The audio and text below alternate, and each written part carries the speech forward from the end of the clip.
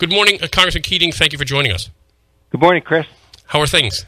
Things are well. We just uh, came off the floor, and uh, interesting enough for some of your listeners uh, that have been concerned about the nuclear issue and the nuclear plant uh, in you know Plymouth Pilgrim plant, Mhm. and what to do with you know the spent fuel there. Is it going to stay there? We just advanced a bill, uh, strong bipartisan bill, including an amendment I had on it that uh, uh, will deal with that waste issue uh, and actually prioritize plants like Plymouth, uh, eh, Pilgrim in Plymouth, to uh, uh, to have that spent fuel taken away. So. Uh, Well, that's good news. on that front. That's real good news. No, because that's been a concern f- for a long time for a lot of people. In fact, I know people who used to be big proponents of nuclear power uh, who, who are concerned about Plymouth and it's, it's shutting down. And so, so they're, they're going to have a plan to get rid of the uh, the waste. not just there, but around the country. Uh, but uh, Plymouth would be prioritized under this, and you know, ratepayers have paid. Wait, wait till you hear this figure: uh, over thirty-one billion dollars uh, as part of the cleanup uh, of the spent waste, and uh, it hasn't been used uh, because of blocking Yucca Mountain and everything uh, in Nevada. So we're we're on the way. It, it might face a, l- a little tougher battle in the Senate, but we'll see. But overwhelming vote, the, the one we had, uh, is certainly going to give impetus to uh, resolving this issue after years, ac- actually decades, Decades. in action. Well, that's excellent. So, so we've got we've got something about uh, nuclear power here locally. Let's talk about nuclear nuclear uh, power or, or weapons in, in Iran and the in the tr- the deal that the president uh, just pulled out. Of what are your thoughts on that, Congressman? But I, I think it was a, a serious mistake to pull out of that. Uh, something that uh, I've done a lot, in, and on the Committee on Foreign Affairs, that's the committee that deals with non-proliferation. Uh, among other things, there's a great fear it's going to lead to other countries in the Middle East going ahead for their nuclear plans. But here's the deal: uh, they were complying to this. We had an unprecedented verification procedure where inspectors were coming in, and there was a lot of misinformation about this. They're saying, "Well, they're not allowed on military bases." Well, yes, they are. Uh, I don't know where they get that uh, that information. Uh, if there's anything that's out there that they have as evidence, they are allowed on military bases, and they're saying, "Well, you have to give 28 days notice."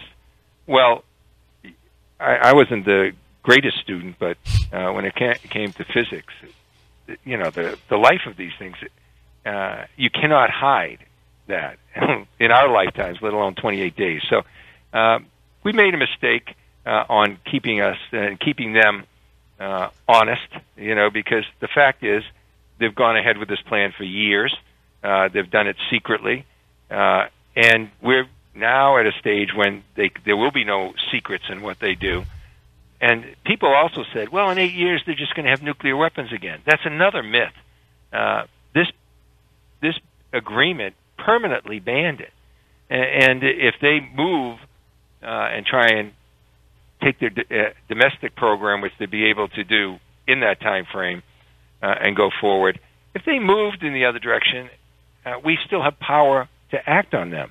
Uh, even the people that may not have liked the the plan, why are we doing it now when for you know there's limitations for 8 10 15 25 years and permanent limitations on it why would we do this now uh, when they're not uh, doing it and we can check on them We're speaking with Congressman uh, William Keating, uh, who's our congressman here on the South Coast.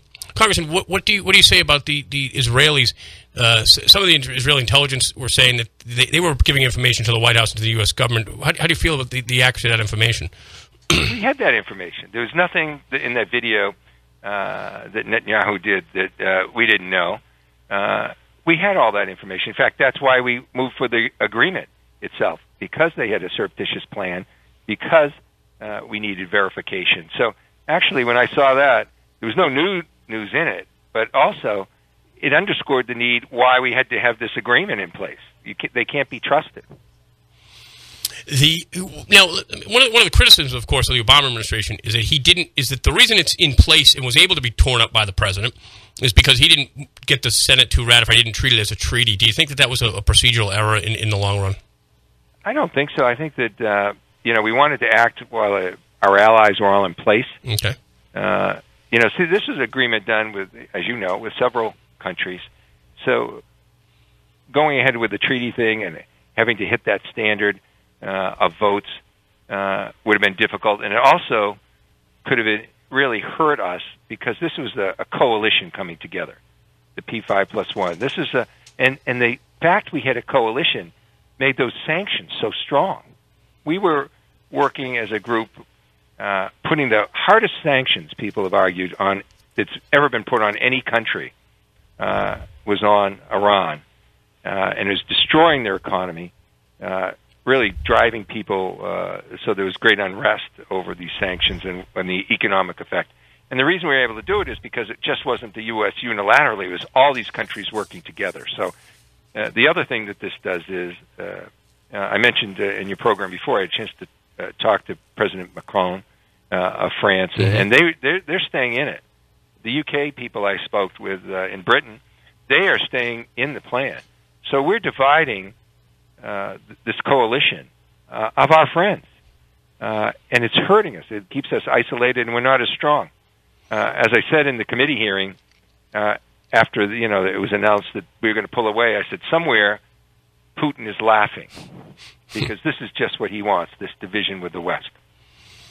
Um, speaking of Congressman Keating, Congressman, um, before before we shift to, to, this local news about fishing, which uh, I think is, is, is, very important, and as you do, uh, just uh, any comments on the, the three Americans that have come home from North Korea? Well, it's it, it's really uh, anytime we welcome people home, uh, especially in a when they're being held in a place like that and treated the way uh, Americans are being treated, it, it's a happy day for our country. But I must tell you, as that was happening uh, my heart was going out uh, to the family of Otto uh, uh, because uh, his his folks sat down with me uh, because of the committee I'm on and things. We we met together. Uh, they shared pictures uh, and information that that were not public. Mm-hmm. Uh, the condition of their son, a young, a wonderful young man who did nothing mm-hmm. uh, except be captured for no reason and held, and and effectively, uh, life was wrung out of him by the time he was released and sent home. So, as happy as I was uh, for the three families, uh, my mind did race to uh, what must be going through the mind, uh, uh, you know, of that poor family. Uh, it, it just, it's inexcusable. Uh, uh, the the brutality uh, of uh, Kim Jong Un in North Korea and, and the way they treated him, tortured him no, wrung the wrung, wrung the life out of him is is absolutely is a, right. Is, is a, no, that's that's a, it was a horrible, horrible situation. So, but transitioning to, to good news, Congressman, a great story today in the Standard Times by Michael Bonner, uh, who's a great reporter over there about. Um, your the things you've been doing on fishing. And so let, me say this before you answer. There has been some complaints here. Now I know some of the things you've been doing, and I keep my powder dry sometimes for the fishing industry. I, you know, I have good contacts with your staff and with your former staffers. Um, I know how much you've been working on the fishing industry, but sometimes not, I'm not at liberty to say it because you know some, sometimes the work is best done behind the scenes. Talk a little bit about what you've been doing for the fishing industry here in New Bedford to try to get those two sectors reopened for ground fishing. Well, in the you know in the next, uh, I hope two or three weeks, uh, we're going to be uh, on the road to dealing that. There will be uh, a plan uh, that will be public. Uh, they will move, you know, under with Sector Seven right now, which really won't affect things. Uh, they'll be able to lease. You know, people will uh, be able to lease those boats, uh, and then they'll get the quotas to deal with it. So people hopefully uh, this is the beginning of the road back to opening this up. Uh, we are working uh, with NOAA uh, as well on on a couple of issues that will help dramatically in this process. One is, you know, once they release uh, their plan, there's a there's a required comment you know, period, uh, and usually in our office we are, we argue for the long comment period because we're having constituents that just continually want to comment and have time to do it.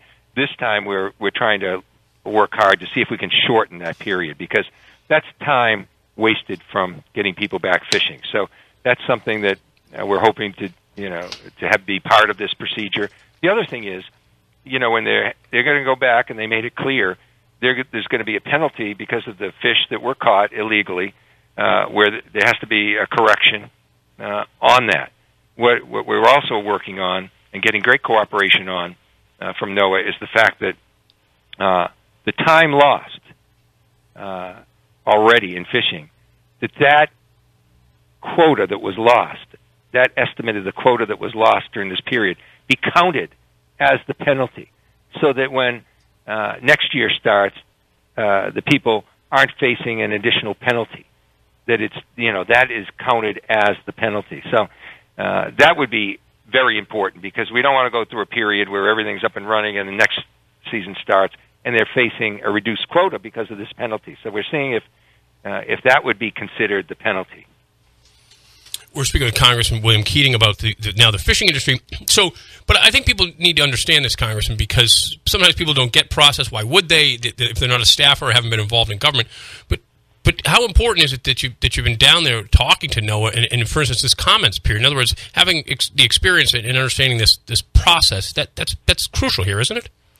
It is, and I must say the cooperation with NOAA has been uh, very good in, in being open minded and thinking of a shorter comment period, thinking of how this uh, quota can be credited against time lost already, and not you know a double penalty. In effect, that's the argument I make, uh, and then moving this forward. Uh, so this is uh, this is important. People have to understand this wasn't one dimensional.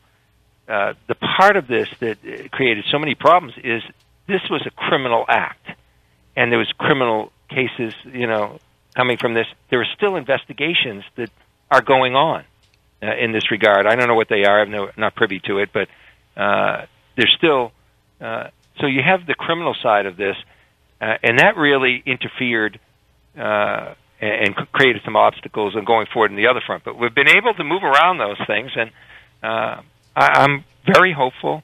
Uh, in two or three weeks, we're going to you know get the ball started, and and that that's you know long overdue. Mm-hmm. It's important, as I mentioned, uh, th- you know, in, in the article this morning you know, there were a lot of from New Bedford's waterfront uh, affected by this criminal act. Battleship Cove, the back-to-back hits start now. Now, as Carson, 107 goes commercial I don't. Uh, the South Coast. I can't explain what just happened. Go ahead. Sorry. I have no idea. The FM side uh, took me hostage for a second. I'll, I'll, have to deal with them later. Well, we can blame it on the Russians. Russian interference. Russian uh, interference. Russian interference. No, I, I, just started to say Chris. From New Bedford's waterfront to Battleship Cove. The back-to-back hits start now. Now, as Fun 107 goes uh, commercial free. Yeah, I'm still here. Just uh, it's beautiful. It's the hip hop version of my show. Uh, it's Congressman Keating and I. Fun 107 is bleeding into here. It's uh, um, you know it's Chris McCarthy, the DJ. I'm DJ McCarthy now uh, with Congressman Keating. Uh, all right, um, that, that should be cured now. All right, so so let's start again before the Russians hear us. Well, I was just saying that uh, the last analysis, uh, there were a lot of innocent bystanders uh, that that were affected by this criminal act, and and it's hurt their business. Uh, it's hurt our region. But the good news is, finally, uh, we're moving forward on this, and uh, and I'm quite optimistic. Uh, we're going to take a what could be a very protract could have been a very protracted time frame, uh, and moving forward uh, quickly. No, I, I, think I think you folks have done excellent work. It's been, a, as, you, as you pointed, it's, it's, a multi-headed hydra here. There's the criminal side of it, which which is interesting. It hasn't been resolved uh, completely, which that, that's kind of news to me. Um, and then, of course, the penalties and, and, how this whole thing works out. And there are a lot of innocent people involved. Well, Congressman, I know you have to get back to the floor. You have a very busy schedule today, but I do appreciate you, you giving us a call and updating us on the foreign affairs and, and, and, the fishing industry. And we'll look forward to speaking with you next week. Great. Now send my record uh, request for the next show. Thank you, sir. Have All a right. good day. All right. Bye-bye. That was Congressman Keating. Uh, we'll take a quick break. We'll be right back.